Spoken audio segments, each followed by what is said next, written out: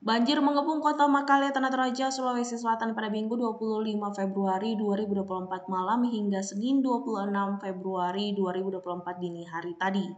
Sejumlah titik di sekitar pasar sentral Makale terendam banjir hingga ketinggian sekitar 1 meter. Sejumlah warga terpaksa mengungsi ke tempat yang lebih aman, Tim evakuasi terdiri dari Basarnas Toraja, BPBD Tanah Toraja, Kodim 1414 Tanah Toraja, Polres Tanah Toraja, komunitas pencinta alam turun untuk membantu warga. Ada sekitar 50 orang yang sempat dievakuasi. Kepala Basarnas Palopo, Michael Martiveni, mengatakan bahwa tidak ada laporan korban jiwa dalam bencana banjir tersebut. Hanya saja ada satu warga yang sempat pingsan saat dievakuasi. Selain itu, satu mobil minibus terbawa arus banjir hingga masuk ke dalam sungai. Mobil tersebut terpantau oleh warga terseret arus dari Jalan Tandung hingga Jalan Starda Makale.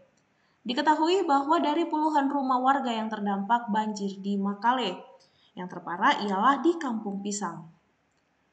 Hujan deras yang mengguyur Makale dan sekitarnya sejak sore hingga malam membuat debit air di sungai sekitar pasar sentral Makale naik hingga menggenangi bahu jalan. Selain di kota Makale, di Kecamatan Mengkendek, Tanah Toraja juga hujan deras sejak sore tadi. Untuk saat ini, pemerintah setempat menjadikan gedung tabungan Mali sebagai posko darurat.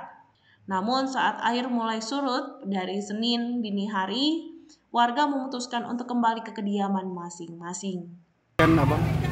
Baik, terima kasih. Selamat malam. Kami dari Basarnas bersama tim SAR. Eh, tadi kami mendapat informasi pada pukul 20 terkait eh, hujan dan disertai oleh banjir.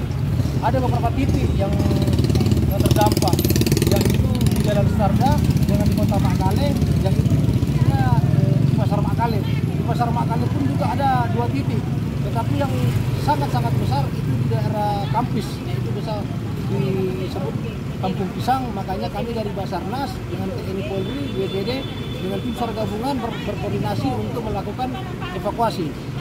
Dan untuk sekarang pada pukul 11 eh, 11.15 korban sudah kami evakuasi dengan dalam keadaan selamat.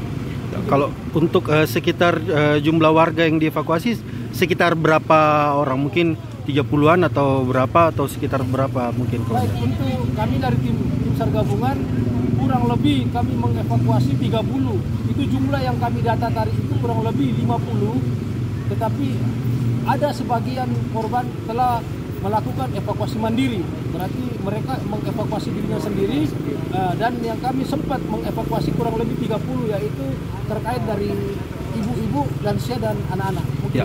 Kalau untuk tempat uh, evakuasi yang mungkin disediakan oleh pemerintah dan juga Basarnas itu di mana saja, Komandan? Mungkin bisa dijelaskan. Baik, untuk uh, hasil koordinasi terakhir kami dari Basarnas dengan pemerintah setempat dengan BPD bahwa pemerintah telah menyediakan tempat uh, penampungan uh, pengungsi di daerah Taman Mali. Taman Mali. Yang di Gunung Taman Mali.